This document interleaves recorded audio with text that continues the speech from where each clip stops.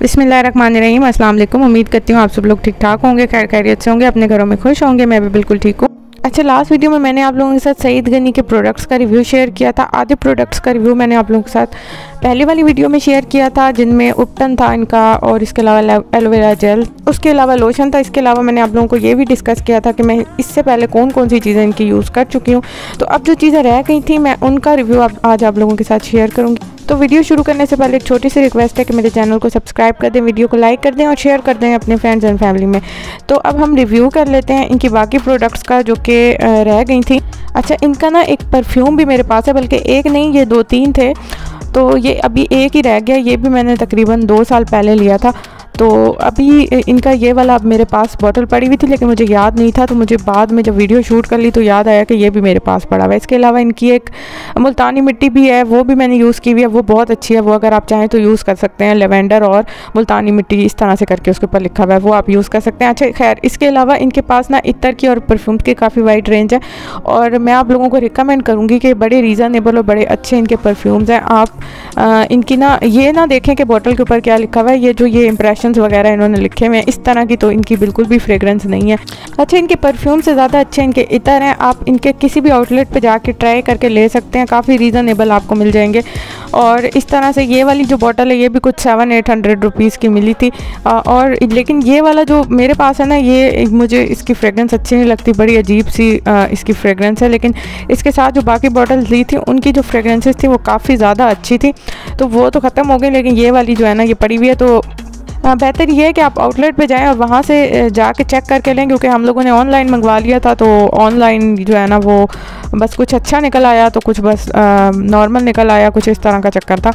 तो खैर, ये वाला जो परफ्यूम है परफ्यूम्स इनके मैं आप लोगों को रिकमेंड करूँगी कि आप इनके आउटलेट पे अगर आपके करीब है कहीं पे तो वहाँ पे जाके आप ज़रूर चेक करें।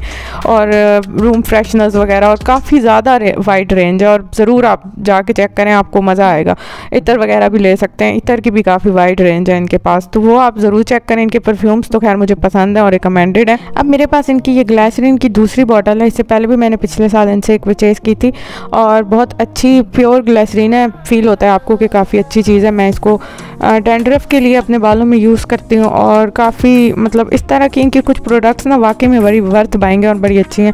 लेकिन वो जब तक आप ट्राई नहीं कर लेते ना, आपको तब तक नहीं पता चलता। और इतनी ज़्यादा प्रोडक्ट्स हैं कि आप सारी की सारी तो बाय कर भी नहीं सकते हैं। बाकी पता ही आप लोगों को ग्लाइसरीन बड़ी अच्छी होती है आपके बालों के लिए, आपके हैंड फीट के लिए, ख़ासतौर पर सर्दियों में यूज़ करने के लिए तो बहुत बेहतरीन चीज़ है। और बड़ी रीज़नेबल प्राइस में है वन ट्वेंटी रुपीज़ इसकी प्राइस है, अगर आप चाहें तो अपने लिए एक लेके रख सकते हैं।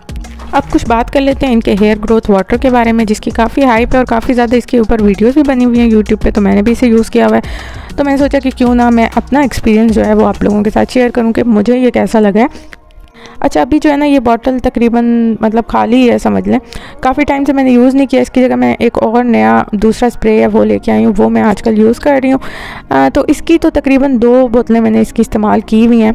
तो मैं आप लोगों को अच्छे से बता सकती हूँ कि इसका मतलब इसका क्या रिज़ल्ट है है या नहीं है। इसके अलावा सबसे पहले मैं आप लोगों को ये बता दूँ कि आप लोगों को इसको यूज़ कैसे करना है। आप इसे ड्राई हेयर में भी यूज़ कर सकते हैं एज आ सिरम और एज आ स्प्रे और इसको आप वेट हेयर में भी यूज़ कर सकते हैं, यानी कि नहाने के फ़ौरन बाद भी आप इसको यूज़ कर सकते हैं। बाकी बोतल के ऊपर इसके ये लिखा हुआ है कि ये हेयर ग्रोथ सीरम है हेयर को स्ट्रॉन्ग करने के लिए, उनको शाइनी करने के लिए। हेयर फॉल को प्रिवेंट करने के लिए, इसके अलावा हेयर में वॉल्यूम पैदा करने के लिए और नेचुरल हेयर ग्रोथ के लिए ये सब चीज़ें इसके ऊपर लिखी हुई हैं कि ये उन सब चीज़ों को ठीक करता है और हेयर की काफ़ी सारी प्रॉब्लम्स को क्योर करता है।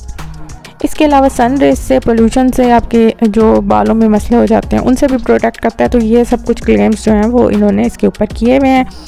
अब कुछ बात कर लेते हैं इसकी फ्रेगरेंस के बारे में। तो इसमें बड़ी नेचुरल सी फ्रेगरेंस है, यानी कि जैसे आंवला की होती है और हिना वगैरह की। इस तरह की इसकी नेचुरल से बिल्कुल फ्रेगरेंस है। और इसमें लिखा हुआ भी यही है कि इसमें हर तरह के नेचुरल इंग्रेडिएंट्स यूज़ हुए हुए हैं। जैसे कि मैं आप लोगों को थोड़ा बहुत पढ़ के बता देती हूँ, जिसमें आंवला है, इसके अलावा नीम है, इसके अलावा इसमें हिना और इस तरह के कुछ इंग्रेडिएंट्स जो हैं वो इसमें यूज़ हुए हुए हैं, जो कि अच्छे हैं हेयर के लिए। अब जैसे कि इस पर लिखा हुआ है कि ये हेयर फॉल को रोकने में मदद देगा। तो मैं इतना आप लोगों को बता दूँ कि जैसे एक लाइट सा सीजनल हेयर फॉल होता है उसको तो ये आ, मतलब प्रिवेंट करने में और मतलब थोड़ा बहुत मदद देगा। ये नहीं है कि आप ये सोचें कि बिल्कुल टोटली इस पर आप डिपेंडेंट हो जाएँ। लेकिन ये है कि जो बहुत ज़्यादा स्वेयर हेयर फॉल होता है जैसे कि एलोपेशिया वगैरह का आ, मसला हो जाता है बाल पैचेस का उसमें ये आपको कोई, किसी किस्म की कोई मदद नहीं देने वाला। अगर आपको ऐसा कोई मसला है तो आप जाके डॉक्टर से चेक कराएँ और उनकी रिकमेंडेशन पे जो भी प्रोडक्ट्स हैं वो यूज़ करें। तो बस ये है कि आप इसको इतना यूज़ कर सकते हैं कि आप अपने बालों में अगर आप अपनी एक अच्छी हेयर केयर रूटीन फॉलो कर रहे हैं तो उसमें आप इसको शामिल कर सकते हैं। इसकी सबसे अच्छी बात यह कि इसके कोई साइड इफ़ेक्ट्स नहीं है, क्योंकि सईद गनी की बहुत सी प्रोडक्ट्स ऐसी हैं जो कि बहुत ज़्यादा फ्रेगरेंस वाली हैं। इसके अलावा कुछ बहुत हार्ड है आपकी स्किन के ऊपर और मतलब इनका जो लोशन वगैरह जिसका मैंने रिव्यू अभी पिछली वीडियो में आप लोगों के साथ किया है। तो उस लिहाज से देखा जाए तो एक तो इसमें फ्रेगरेंस भी इतने ज़्यादा नहीं है और काफ़ी हर्बल टाइप का ये मुझे फील होता है तो इनकी मिली जुली प्रोडक्ट्स हैं, कुछ अच्छी हैं, कुछ नॉर्मल हैं और कुछ बिल्कुल भी अच्छी नहीं है। इस तरह से है। तो ये वाला जो है, ये है कि अगर आप एक अच्छी हेयर केयर रूटीन फॉलो कर रहे हैं तो फिर उसमें इसको आप अपने शामिल कर सकते हैं।